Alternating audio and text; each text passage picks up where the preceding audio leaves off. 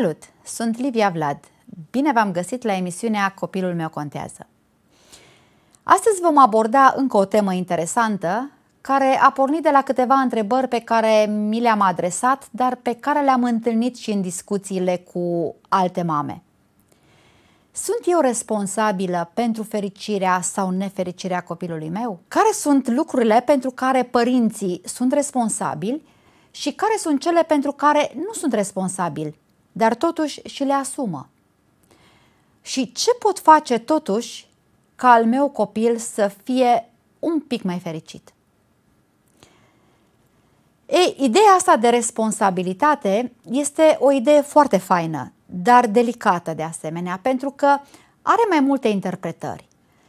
Sunt oameni care se simt mult mai responsabili decât ar fi cazul și alții care se simt mult mai puțin responsabili. De exemplu, să luăm un părinte.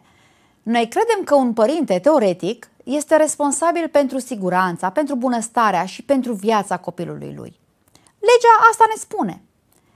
Dar sunt părinți care își abandonează copiii și care simt în acel moment, de fapt nu simt nicio obligație. Da? Sau chiar dacă simt puțin, cu siguranță nu acționează. Dar sunt și părinți care sunt uh, responsabili și pentru copiii care nu sunt ai lor. Și atunci adoptă sau au grijă de copii abandonați, știu eu, așa mai departe. Așadar, ideea asta de responsabilitate se împarte oricum în două. Responsabilitatea aceea impusă sau juridică și responsabilitatea subiectivă, responsabilitatea autoimpusă. Bun, care este limita acestei responsabilități? Cu cât suntem noi de responsabili pentru fericirea copilului nostru? Putem noi să răspundem direct pentru fericirea sau nefericirea copilului nostru? Dacă al meu copil este nefericit, oare este responsabilitatea mea? Spuneam că emoția este un răspuns adaptativ al fiecăruia dintre noi, dar este un răspuns personal. Poți să pui o emoție în cineva? Poți să faci pe cineva să se îndrăgostească de tine? Tu poți să creezi cadrul, tu poți să pui petale de trandafir în cadă, da? Poți să fii suficient de cal, să spunem, de iubitor, dar asta nu-ți dă garanția că o să se îndrăgostească de tine sau nu o să se îndrăgostească de altul. Și atunci poți fi tu responsabil de fericirea sau de nefericirea copilului tău? Răspunsul în acest moment este nu. Desigur, noi putem crea context, spune, cum spuneam, putem să creăm spațiul în care copilul să se simtă în siguranță, în care să se descopere, în care să descopere cum să fie fericit. Vedeți, este acea diferență dintre eu te-am făcut, eu te omor, ești al meu, eu îți spun ce să faci, unde să te duci și eu îți creez spațiul în care tu să te dezvolți. Vedeți, e o diferență. Am urmărit un, um, un curs, să spunem, da, o conferință pe YouTube uh, ținută de către profesorul Michael Thompson de la Harvard. Uh, și el avea așa câteva intervenții în direct. Și una dintre mămicile din public, care ne-a spus că este mama a doi băieți, îi spunea uh, psihologului și spunea, domnule, nu știu cum să, să mă mai descurc cu acești doi băieți ai mei, uh, sunt disperată, uh, am obosit intervenind, i-am amenințat, i-am recompensat când erau liniștiți, chiar nu mai știu ce să fac. Și atunci Thompson se apropie de ea, așa ca în timpul unui film bun, da, și spune, uh, da, zici, și se certau uh, și uh, erau și ceva dinți căzuți? La care mama, a, zice, nu, nu erau. Uh, el oarecum dezamăgit zice, uh, dar era ceva sânge? Și femeia, nu, era blocată cumva. La care Thompson, oarecum așa, zice, e, bine, atunci o să spun eu ce ai de făcut.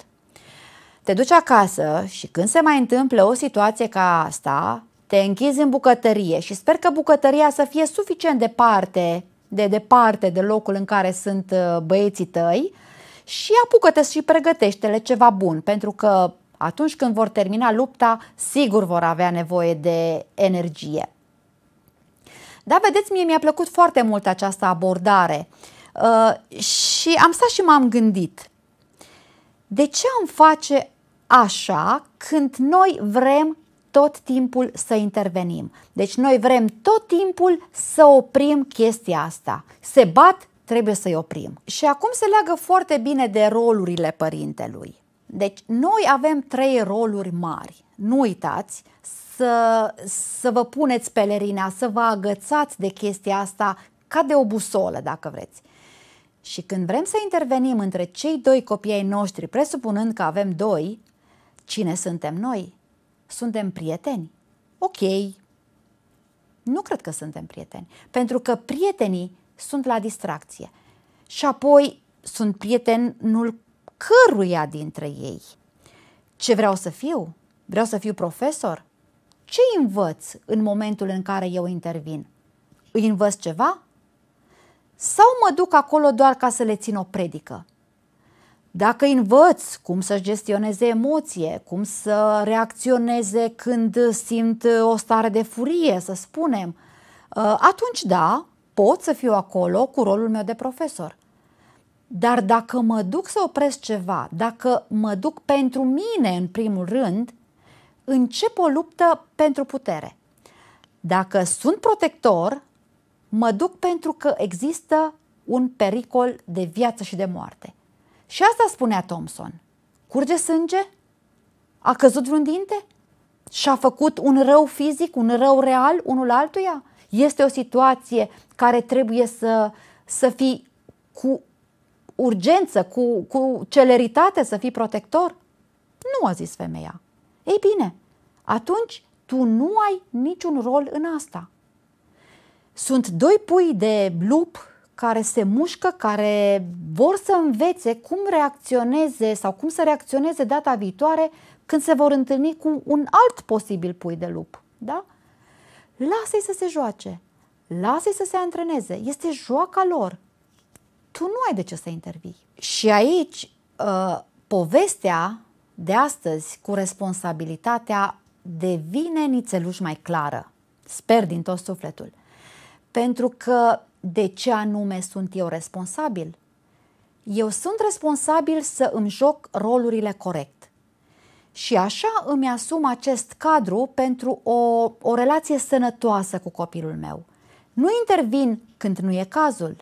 Nu-l abuzez când nu e cazul. Nu încerc să impun o emoție. Dacă suntem responsabili pentru ceva, suntem responsabili pentru acțiunile noastre, pentru rolurile bine jucate, corect jucate, pentru fericirea noastră, pentru nefericirea noastră, pentru rezultatele noastre, pentru tot ce ține de noi, pentru partea noastră din relația cu copilul. Dar noi nu avem cum să fim responsabili pentru fericirea copilului, pentru că asta este problema lui. Asta este călătoria lui. Ca atunci când aleargă la maraton, să zicem.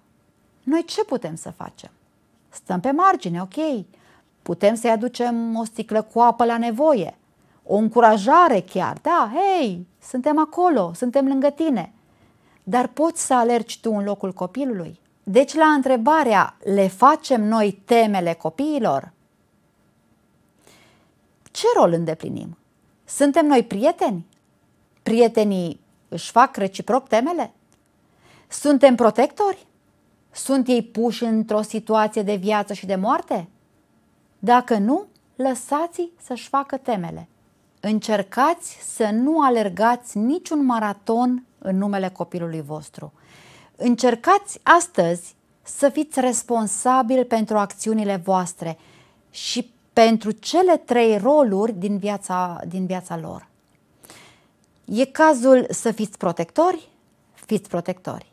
E cazul să fiți profesor? Să le dați ceva din înțelepciunea voastră? E momentul potrivit? Dacă nu, lăsați-i să se joace.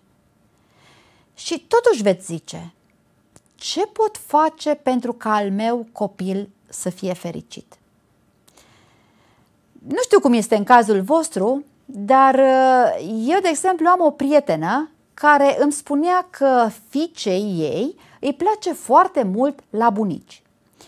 Și m-am întrebat și eu, s-a întrebat și ea, de ce le place atât de mult copiilor să meargă la bunici? Și răspunsurile sunt destul de multe și destul de variate.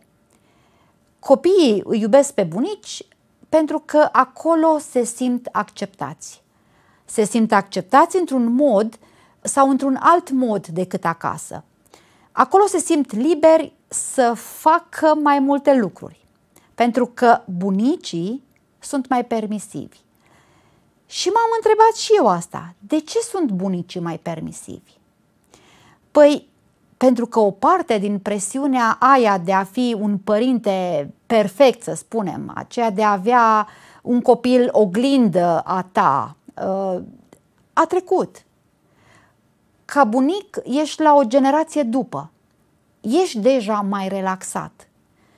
Și dacă aveți bunici care au o relație grozavă cu copiii voștri, uitați-vă la, la ei, uitați-vă cât este de, de, de grozavă distanțarea, uitați-vă la acceptare, uitați-vă ce îi face pe copii să se simtă iubiți necondiționat. Și tot mămica asta despre care vă, vă spuneam, îmi spunea că la un moment dat, unul din motivele pentru care fică sa vroia să meargă la bunici era ketchupul. Ea nu cumpăra niciodată ketchup în bucătăria ei, din rațiuni de alimentație sănătoasă și așa mai departe. Drept pentru care, atunci când ajungea la bunici, mânca ketchup pe pâine. Și într-o zi vine acasă taman cu acel ketchup. Mama se abține pentru început, i-a venit greu oarecum să nu-l arunce la gunoi, dar a început măcelul. Dimineața ceva cu ketchup, la prânz altceva cu ketchup, seara altceva, dar același ketchup. Și mama nu a mai uh, putut, s-a ambalat și a explodat. Și a spus, abia aștept să se termine ketchupul ăla, că dacă nu îl alung la gunoi, eu îl arunc la gunoi. S-a oprit, s-a uitat la copilul ei, copilul ei înghețase oarecum, iar ea s-a simțit vinovată. Pentru că văzuse reacțiile de fiecare dată când copilul lua din frigider ketchupul. Dar atunci nu a mai fost în stare să facă nimic. Copilul efectiv s-a oprit în timp ce ducea felia de pâine cu ketchup și acesta a fost momentul în care pentru ea a fost foarte clar că nu e bine cum a reacționat. Da? Deci mama a întrerupt practic o bucurie. Și și-a adus aminte că lucrul acesta îl făcuse și de alte dăți în viața ei, în viața ei și a copilului ei. După ce mi-a povestit, eu mi-am adus aminte de un mare înțelept care spunea că o parte din nefericirea adulților este că s-au simțit, atunci când erau mici, s-au simțit vinovați că erau fericiți. Și că ceva de genul că au fost prinși, ba că au ascuns ciocolata, ba că mâncau ciocolată, ba că au fost pedepsiți, da, ba că au fost uh, apostrofați că, știu eu, sărea un bălț sau sărea un pat, da, deci au simțit această vinovăție când erau fericiți. Iar această asociere între fericire și vină ne face să ne ferim până la urmă de fericire, pentru că vine la pachet. Nici nu vrem să fim fericiți, drept pentru care mare parte a adulților nici nu verbalizează foarte mult fericirea, pentru că îi fac geloși pe ceilalți și îi fac să se simtă vinovați. Da, deci toată lumea înțelege când ești nefericit. Spuneți-mi voi pe cineva care nu te înțelege atunci când ești nefericit. Dar mare parte din această asociere, fericire, vină, se întâmplă în copilărie atunci când ceva s-a întâmplat, atunci când o fericire a fost întreruptă cu ideea de vinovăție. Da? Deci avem chiar și această expresie, plăceri vinovate. De ce vinovate? Plăcerile sunt plăceri. Mama asta despre care vă spuneam putea la o adică să arunce puțin câte puțin din ketchup și la un moment dat, ups, nu mai este. Da? S-a terminat. Fără să facă copilul să se simtă vinovat. Putea să accepte ideea că acest ketchup se va termina la un moment dat sau să-l înlocuiască cu o variantă mai sănătoasă sau pur și simplu să lase copilul să se bucure de acel moment. Pentru că oricum era rar la ei în casă și cât rău îi putea face. Ce am învățat eu din toată povestea asta? Că unul din modurile în care putem să creăm spațiu copiilor să fie fericiți este să nu le mai asociem fericirea pe care ei deja o au, da? vedeți? Noi nu trebuie să, să le stimulăm fericirea, noi trebuie doar să îi lăsăm să existe, să nu, să nu le mai întrerupe momentele lor de fericire cu toată organizarea noastră, cu toată programarea noastră. E mai important decât să le creăm noi fericiri, așa, de capul nostru, să-i lăsăm să să-i lăsăm să se ude din cap până în picioare, din, într-o baltă. Lasă bucuria să fie bucurie. Să nu mai pătăm, să nu o mai uh, schimbăm, pentru că cu o mână le dăm și cu două le luăm. Încheiem întâlnirea de aici cu un ultim exercițiu pentru ziua de astăzi, cu o provocare, dacă vreți. Gândiți-vă la trei activități pe care voi, în mod normal, le asociați cu o vină. Activități pe care copilul le face cu plăcere, pe care voi ați putea să-i permiteți să o facă fără să vă strâmbați, fără să interveniți, fără să puneți condiții. Să zicem că e săritul în bălți. Dați-le niște cizme de ploaie și lăsați-i să sară în toate bălțile. Ce o să fie? Aștept să-mi scrieți ce a fost greu, ce a mers, ce nu a mers, ce funcționează, pe săptămâna viitoare cu alte întrebări.